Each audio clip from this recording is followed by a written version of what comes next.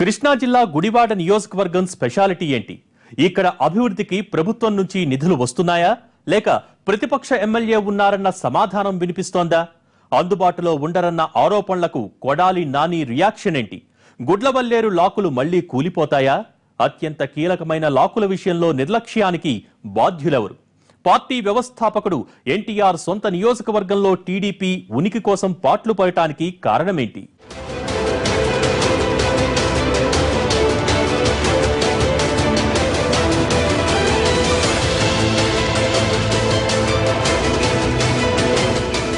రెండు వేల పంతొమ్మిదిలో మళ్ళీ అధికారంలోకి రావటం ఎంత ముఖ్యమో గుడివాడను గెలుచుకోవటం కూడా అంతే ముఖ్యం. కృష్ణా జిల్లా టీడీపీ నేతల్ని ఈ నియోజకవర్గం గురించి కదిపితే వినిపించే మాట ఇదే. దీన్ని బట్టే అర్థమవుతోంది ఆ పార్టీ ఈసారి గుడివాడ మీద ఏ రేంజ్లో దృష్టి పెట్టిందో. అందుకే ప్రతిపక్ష ఎమ్మెల్యే ప్రాతినిధ్యం వహిస్తున్న మిగతా నియోజకవర్గాల్లాగా వదిలేయకుండా అభివృద్ధి విషయంలో ప్రత్యేక శ్రద్ధ తీసుకుంటోంది. ఇది ఎన్టీఆర్ సొంత నియోజకవర్గమే కాక గతంలో ఆయన పోటీ చేసి గెలిచారు కూడా. రాజకీయంగా టీడీపీలో ఎదిగినా తర్వాత వైసీపీలోకి మారి విజయం సాధించారు కొడాలి నాని. రెండు వేల పద్నాలుగు విజయంతో హ్యాట్రిక్ కొట్టారాయన రెండు వేల పంతొమ్మిదిలో ఎట్టి పరిస్థితుల్లో ఇక్కడ గెలవాలన్న పట్టుదలతో ఇప్పట్నుంచే దృష్టి పెట్టింది అధికార పార్టీ.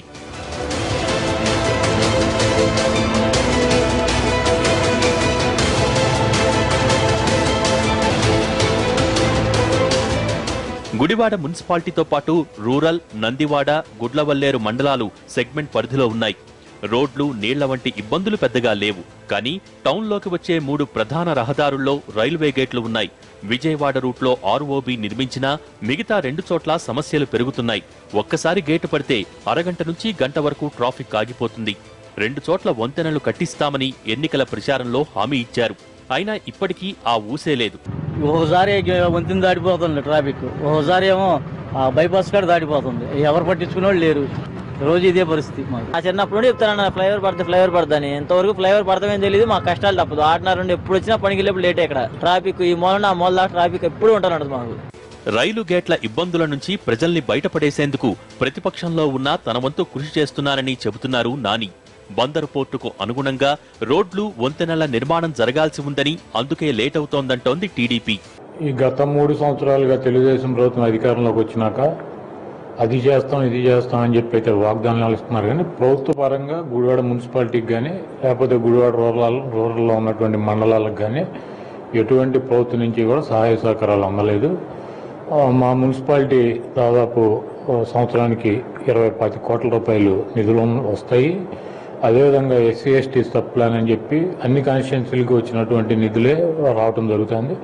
వాటితో కొంతవరకు రోడ్లు కానివ్వండి లేకపోతే డ్రైన్లు తాత్కాలిక పనులు అయితే కనుక జరుగుతున్నాయి కానీ కాన్స్టిట్యున్సీ ఎన్టీ రామారావు పేరు చెప్పి తెలుగుదేశం ప్రభుత్వం నందమూరి తారక రామారావు నియోజకవర్గం అని చెప్పడమే తప్పించి ఇంతవరకు తెలుగుదేశం ప్రభుత్వం అధికారంలోకి వచ్చినాక ఒక్క కోటి రూపాయలు కూడా ప్రత్యేకంగా ఆ నియోజకవర్గానికి రూపాయి కూడా నిధి గడిచినటువంటి పరిస్థితి లేదు.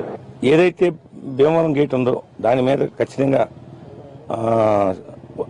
రైల్వే ఓవర్ బ్రిడ్జ్ పూర్తవుద్ది.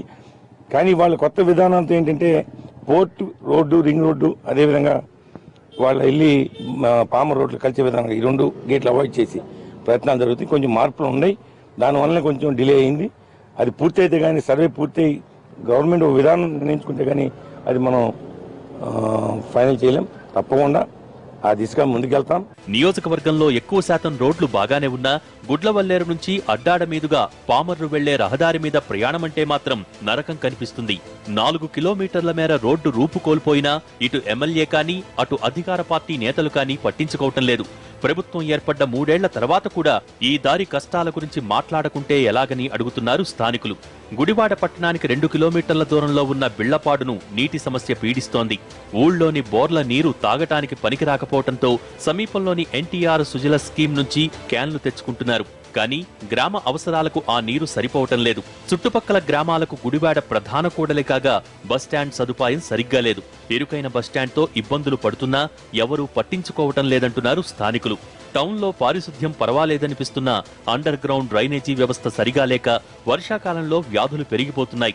నందివాడ మండలం జొన్నపాడు పరిధిలో డంపింగ్ యార్డ్తో చుట్టుపక్కల ప్రాంతాల ప్రజలు ఇబ్బందులు పడుతున్నారు.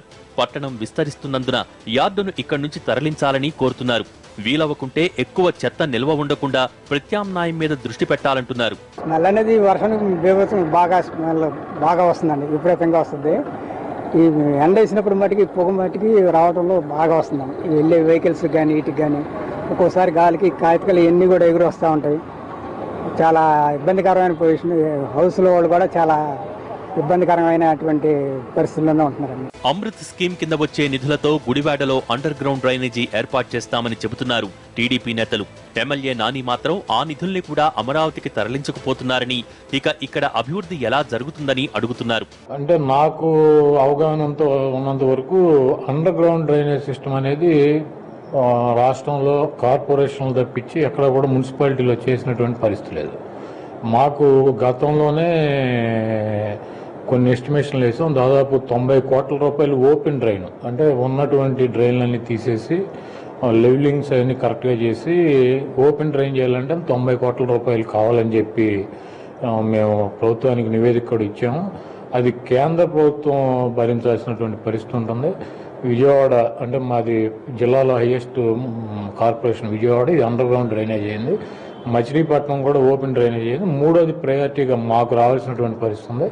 అయితే చంద్రబాబు నాయుడు ఈ గుడివాడ మున్సిపాలిటీ లాంటి మున్సిపాలిటీలు రావాల్సినటువంటి నిధులన్నీ కూడా కేంద్ర ప్రభుత్వంతో మాట్లాడి అమరావతి రాజధానికి తరలించుకుపోతున్నాడు కదా అది అవుతుంది అన్నటువంటి ఆశ నాకైతే లేదు. అండర్ గ్రౌండ్ డ్రైనేజ్ కాదు కానీ ఈ రోజు కేంద్ర రాష్ట్ర ప్రభుత్వాలు అనుసంధానంతో ఈ రోజున స్టామ్ వాటర్ డ్రైన్స్. వాళ్ళ దగ్గర దగ్గర ముప్పై నాలుగు ముప్పై నాలుగు లక్షలు శాంక్షన్ అయింది. వాళ్ళు ఇంకా అనౌన్స్ చేయలేదు. అడిగారు కాబట్టి ఇది ఒకట మీకు చెప్తున్నాను ఎందుకంటే ముప్పై ముప్పై నాలుగు లక్షల ముప్పై నాలుగు కోట్లతో ఈ రోజున స్టామ్ వాటర్ డ్రైన్స్లో ఎక్కడా కూడా చుక్క నీరు నిలవకుండా మున్సిపాలిటీలో అన్నీ కూడా లెవెల్స్ మెయింటైన్ చేస్తూ చంద్ర డ్రైన్ తీసుకెళ్తా అన్ని ప్రణాళికలు సిద్ధమైన అది కూడా పూర్తి చేయబోతున్నాం. నియోజకవర్గంలో ప్రధాన జీవనాధారం వ్యవసాయమే అయినా పంట కాల్వల్లో పూడిక విషయంలో ఇన్నాళ్ళు అంతులేని నిర్లక్ష్యం కనిపించింది. పట్టిసీమ నీళ్ళకు అడ్డంకి లేకుండా ఇప్పుడిప్పుడే పనులు జరుగుతున్నాయి. ఈ ఏడాది జూన్ ఆఖరుకే కృష్ణా డెల్టాకు పట్టిసీమ నీటిని వదలటంతో దాదాపు ప్రతి ఊరికి గోదావరి నీరు చేరింది. నాట్లు ఇతరత్రా పొలం పనులు మొదలయ్యాయి. ఏళ్ళ తర్వాత కృష్ణా డెల్టాకు పూర్తి స్థాయిలో నీరు అందటం అధికార పార్టీకి ప్లస్ అయ్యే అవకాశం ఉంది. నాట్లు మొదలు పెట్టాం గత సంవత్సరం ఎప్పుడు నీళ్ళు ఈ ట్యాంక్ రాలేదు. ఈ సంవత్సరం ముందుగా వస్తాం వల్ల నాట్లు ముందుగా మొదలు పెట్టాం మాకు నీళ్ళు ఎలా వస్తేనే మాకు మూడు పంటలు పండిస్తుంటే మాకు అనుకూలంగా ఉంటుందండి. పది పన్నెండు మట్టి మేము ఎప్పుడు చూడలేదు నీళ్ళు. ఈ సంవత్సరం బట్టి పరిశ్రమ నీళ్ళు ముందు వస్తాం వల్ల మేము నాట్లు ముందు వేయగలుగుతున్నాం. రేపు తుఫాన్ల బారి నుంచి తట్టుకుంటే అవకాశం ఉంటుందని మేము అనుకుంటున్నాం. లోకల్గా అన్ని స్థాయిల్లో అవినీతి విచ్చలవిడిగా పెరిగిపోయిందన్న ఆరోపణలు వినిపిస్తున్నాయి. డెల్టా ఆధునికీకరణ పనుల్లో లోపాలు వరుసగా బయటపడుతున్నాయి. కృష్ణా డెల్టాకు చివరి భూములైన కైకలూరు గుడివాడ పామర్రు పెడన బందరు నియోజకవర్గాలకు నీరు అందాలంటే గుడ్లవల్లేరు లాకులు చాలా కీలకం. ఇక్కడి నుంచే పంట కాలువలు విడిపోతాయి. ఇప్పుడు ఉన్న లాకులు పాతవి కావడంతో మరమ్మత్తు పనులు జరిగాయి. కానీ కోటి ఇరవై లక్షల ఖర్చుతో కట్టిన కాంక్రీట్ గోడలు ఒక్కసారి నీరు వదలగానే కూలిపోయాయి. దీంతో వాటికి కొద్ది దూరంలో మళ్ళీ కడుతున్నారు. అక్కడ కూడా నాసిరకం మెటీరియలే వాడుతున్నా అడిగేవాళ్ళు లేరు. ఇక ఎమ్మెల్యే నాని అందుబాటులో ఉండరన్నది రాజకీయ ప్రత్యర్థులు చేసే విమర్శ. ప్రజలు సమస్యలు చెప్పుకోవాలంటే ఆయన కంటికి కనిపించరని ఎప్పుడు వస్తారో ఎప్పుడు వెళ్తారో ఎవ్వరికీ తెలియదని అంటున్నారు. కొడాలి మాత్రం అందుబాటులో లేకుంటే వరుసగా మూడుసార్లు ఎలా గెలిపిస్తారని ప్రశ్నిస్తున్నారు. ఎవరి దగ్గరికి వెళ్ళాడా? శ్రమ ఏరియాకి వెళ్ళాడా? ఏం చేశాడు? కేవలం రాజకీయాలు ఏదన్నా బ- మ- మనసు ఉంటే మార్గం ఉంటుంది. వాళ్ళు చేయాలని ఆ తపన ఉండాలి ఆ ఇంట్రెస్ట్ ఉండాలి. దానికోసం ఎంతో ఈజీగా ఈ ఆఫీసులో కూర్చొని కూర్చొని పని ఎమ్మెల్యేని మొత్తం అవుతుంది తిరగాలి. రెండు వేల నాలుగు నుంచి నేను పదమూడు సంవత్సరాల నుంచి శాసనసభ్యుడిగా ఉన్నా. నేను శాసనసభ్యుడు అయిన కాడి నుంచి ప్రతిపక్షంలో ఉన్నటువంటి వ్యక్తులు నేను ఫోన్ ఎత్తనని నేను అందుబాటులో ఉండనని నేను ఎవరికే కనపడనని ఎలక్షన్ ముందు వస్తానని చెప్పి రకరకాల విమర్శలు చేస్తున్నారు. రెండు వేల నాలుగు నుంచి తొమ్మిది దాకా చెప్పారు. తొమ్మిదిలో ప్రజలు సమాధానం చెప్పారు. తొమ్మిది నుంచి పద్నాలుగు దాకా చెప్పారు. పద్నాలుగులో సమాధానం చెప్పారు. పద్నాలుగు నుంచి పంతొమ్మిది దాకా చెప్తారు. వాళ్ళ జీవితకాలం ఇదే చెబుతారు. ప్రజలకు అందుబాటులో ఉండేది వాళ్ళ సమస్యలు తెలుసుకునేది వాళ్ళకు అండగా నిలబడేది ఎవరున్నదో ప్రజలు మూడు సార్లు నిర్ణయించారు. ఇంకో మూడు సార్లు నాలుగు సార్లు నిర్ణయిస్తూ సిద్ధంగా ఉన్నారు. ప్రజల సమాజం. గుడివాడ సెగ్మెంట్లో ఎస్సీ బీసీ జనాభా ఎక్కువ. ఎస్సీ ఓటర్లు నలభై ఐదు వేలు బీసీలు ముప్పై వేల మంది ఉన్నారు. తర్వాత కాపు ముస్లిం ఓటర్లు ఉన్నారు. కానీ కమ్మ సామాజిక వర్గం కీలకంగా ఉంటుంది. కమ్మ ఓటర్లంతా మొదట టీడీపీకి అనుకూలంగా ఉన్నా తర్వాత చీలిక తీసుకురావడంతో సక్సెస్ అయ్యారు నాని. ఆయనకు ఉన్న వ్యక్తిగత ఇమేజ్ ఇక్కడ ప్రతిపక్షానికి ప్లస్ అవుతోంది. రెండు వేల పంతొమ్మిదిలో నందమూరి కుటుంబం నుంచి పోటీ చేసినా సరే వాళ్ళని ఢీకొడతానని అంటున్నారు నాని. టీడీపీ మాత్రం ఈసారి పట్టిసీమ నీళ్ళే ఓట్లు రాలుస్తాయన్న ధీమాతో ఉంది. మూడుసార్లు గెలిచినా నాని ఏమీ చేయలేదన్న అసంతృప్తి ఉందని అది కూడా కలిసి వస్తుందని అంటున్నారు అధికార పార్టీ నాయకులు. అవతల అభ్యర్థి నందమూరి కుటుంబం నుంచి వచ్చారా లేకపోతే ఇంకో కుటుంబం నుంచి వచ్చారా ఎవరైనా ఉంటే నాకు అనవసరం. నేను వైసీపీ తరఫున నేను పోటీ చేస్తాను. ప్రజలకి నా పర్సనల్గా కానీ లేకపోతే ప్రభుత్వం నుంచి కానీ అన్ని రకాలుగా అందాల్సినటువంటి కార్యక్రమాలు చేయడానికి నేను ఎప్పుడు ముందుంటాను. నాకు వాళ్ళ మీద నమ్మకం ఉంది. నేను పార్టీ ఆదేశించిన ప్రకారం ఏ కుటుంబ సభ్యుల మీద కూడా నేను పోటీ చేస్తాను. గెలవగలనటువంటి సామర్థ్యం ఉంది. నాతో పాటు ప్రజానికి ఉంటారు అన్నటువంటి నమ్మకం కూడా ఉంది. వాళ్ళు ఇంత పెద్ద ఎత్తున అభివృద్ధి కార్యక్రమాలు గుడివాడ నియోజకవర్గంలో జరుగుతున్నాయి. తప్పకుండా రేపు భవిష్యత్తులో ఆయనకి కాళ్ళు పెట్టి స్థితి కూడా మేము కలగజేయం. ఖచ్చితంగా ఓడగొడతాం ఎందుకంటే సర్వనాశనం చేశాడు గుడివాడ పట్టణాన్ని ప్రజల్ని. కేవలం స్వార్థానికి వాడుకున్నాడు. దానివల్ల ఎవరు కూడా సహించేది లేదు. తప్పకుండా ఈ తర్వాత ఇక్కడ మేము గెలిచి తీరుతాం అక్కడ. కాంగ్రెస్ జనసేనల ప్రభావం గుడివాడలో అంతగా లేదు. ఈసారి కూడా పోటీ టీడీపీ వర్సెస్ వైసీపీగానే ఉంటుంది. రెండు పార్టీలు ప్రతిష్టాత్మకంగా తీసుకోవడంతో రసవత్తరంగా మారే సూచనలు కనిపిస్తున్నాయి.